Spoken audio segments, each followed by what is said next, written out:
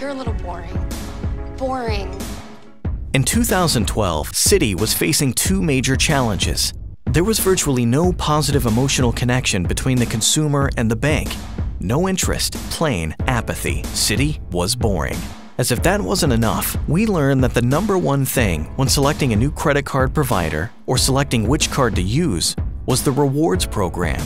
We needed to engage consumers in a new way and make Citi exciting. Our solution move from rewards to experiences and live the product benefits through media. We relaunched Private Pass with more exclusive access to experience. We developed a truly integrated campaign that delivered 2.6 billion impressions through paid, owned, and earned channels. The campaign kicked off with the world premiere of the song from our commercial, the Alicia Keys' new single, Girl on Fire.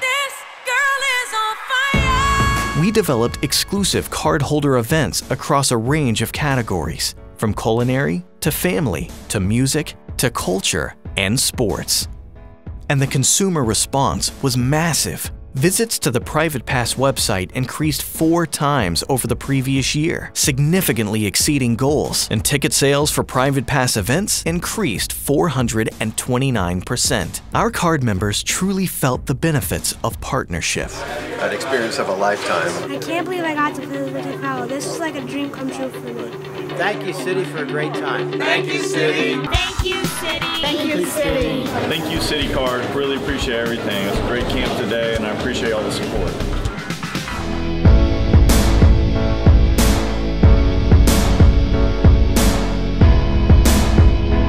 We couldn't have asked for more success.